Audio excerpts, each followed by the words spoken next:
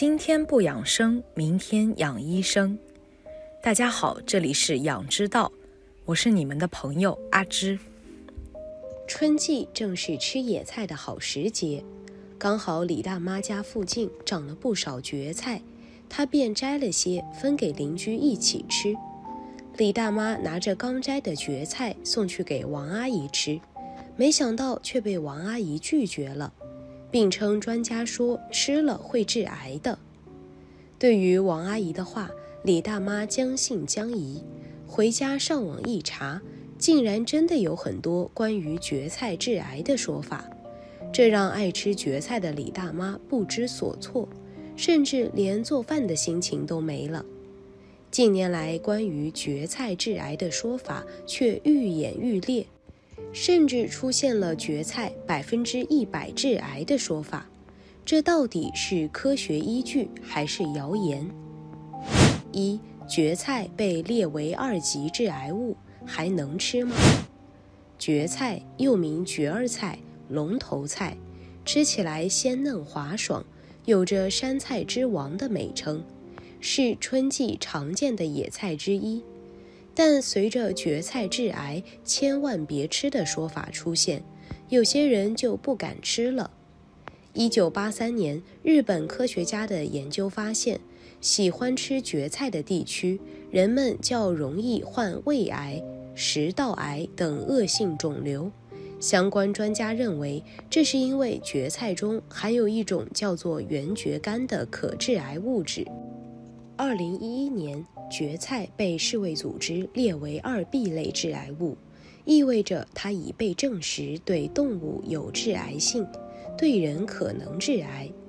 蕨菜确实具有致癌性，因为它含有原蕨苷、黄碱醇类化合物、蕨内酰胺等致癌物，其中原蕨苷起到了主导作用。原蕨苷经过水解后会产生二烯酮类化合物。这是一种较强致癌性物质，同时原蕨苷也属于遗传毒性致癌物，摄入原蕨苷后会改变 DNA 等遗传物质，进而诱发癌症。但是抛开剂量谈毒性往往是不科学的，跟其他致癌物一样，原蕨苷存在剂量和致癌效应间的关联，剂量越多，暴露频率越高。癌症的发生几率就越高，而且癌症的发生往往是多种因素长时间共同作用的结果。除了接触致癌物的剂量和频度外，遗传、环境、身体状况、生活习惯等多种因素也会影响癌症的形成。所以，蕨菜百分之一百致癌是具有夸大性的。适量吃点儿是不会致癌的。湖南农业大学园艺园林学院蔬菜系教授黄科提醒，蕨菜中含有的有害物质属于水溶性化合物，建议在食用前应用清水反复清洗，这样可以冲洗掉蕨菜中大部分的有害物质，然后再热炒。或者用沸水漂焯后凉拌着吃即可。需要强调的是，吃蕨菜要适量，切勿长期食用。二、四种蔬菜已被列入致癌名单，别上当了。近日，不少网传文章称，四种蔬菜已被世界卫生组织列入致癌名单，要少吃。文中把娃娃菜、黑木耳。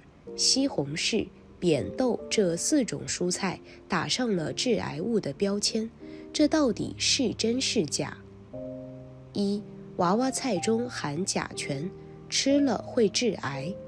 有说法称，有些不法商家为了让娃娃菜的卖相更好，能够保存更长时间，于是便将娃娃菜浸泡在甲醛中。实际上，甲醛是极容易溶于水和挥发的。即使在包装娃娃菜之前蘸了甲醛，在运输、售卖和储存的时候，很多甲醛已经都挥发掉了。即使是娃娃菜中含有甲醛，经过重重的流失和挥发，里面所含的甲醛已经所剩无几。按照一般人的食量，是不会发生中毒现象的。如果不放心，建议可以在吃娃娃菜之前多清洗几遍即可。另外，建议从正规渠道购买。二、新鲜木耳会诱发皮肤癌。新鲜的木耳中含有一种叫做卟啉的光感物质，食用后可能会引起皮疹、日光性皮炎等疾病。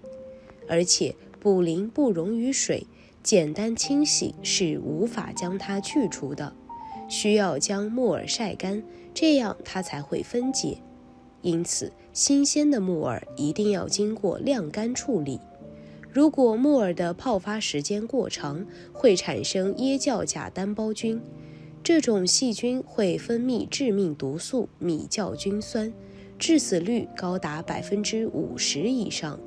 因此，平时泡发干木耳的时间不能太久，泡开后的木耳应尽快烹饪食用。三、生西红柿会导致肠癌或胃癌。未成熟的西红柿中含有番茄碱，如果大量摄入，很容易会导致中毒现象的发生。正常人摄入零点二至零点四克番茄碱，即可诱发食物中毒。但是，随着西红柿的不断成熟，番茄碱的含量也会逐渐降低，因此吃完全成熟的西红柿就不会出现中毒的问题。四扁豆会致癌，不能吃。扁豆中的确含有一些植物凝集素，如果生吃的话，会增加食物中毒的风险，因此不建议生吃扁豆。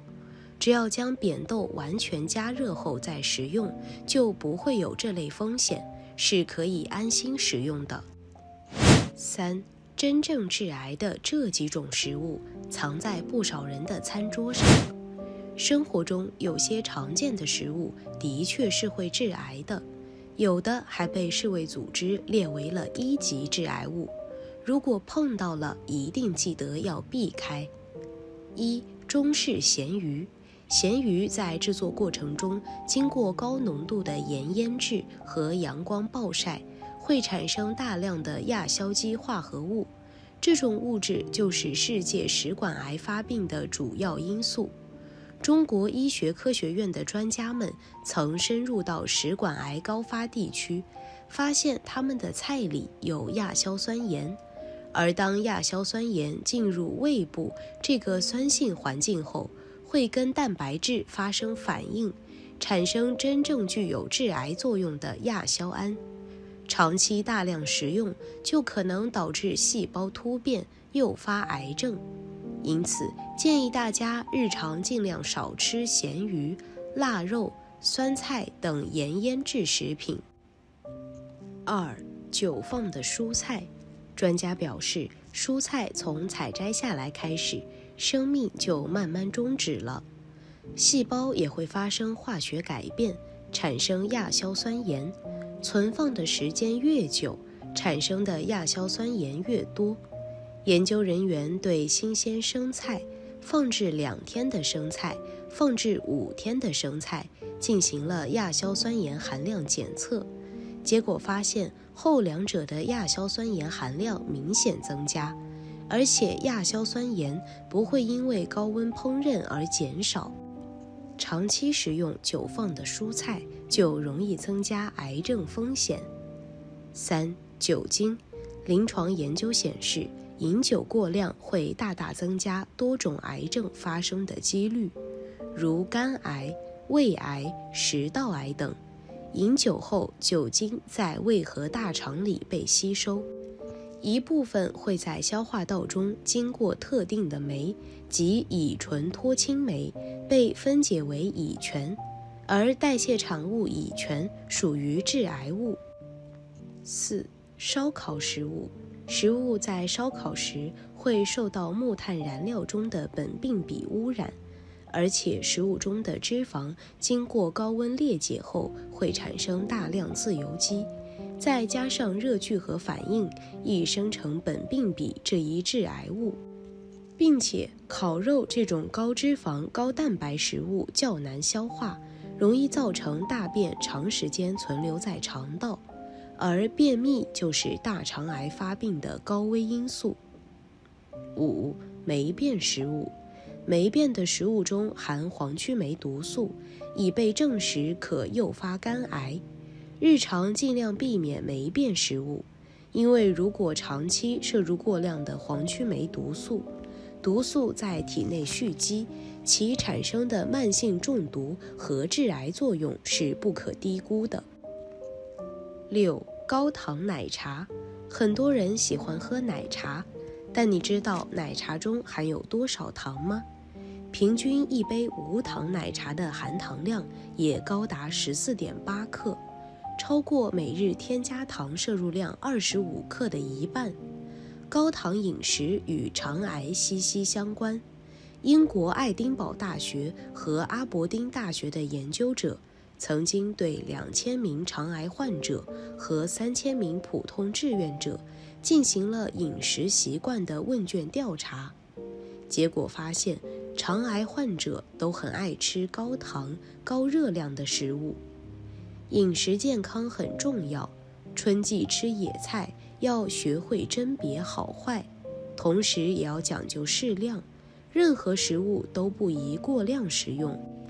建议日常饮食要保证营养均衡，食物种类尽量多样化，多吃新鲜的蔬菜水果，少吃腌制、熏制和加工类食品。好了，以上就是今天的全部内容。如果你也喜欢这个视频，并且让你深有感触，可以分享给身边的人哦。那我们下期节目再见。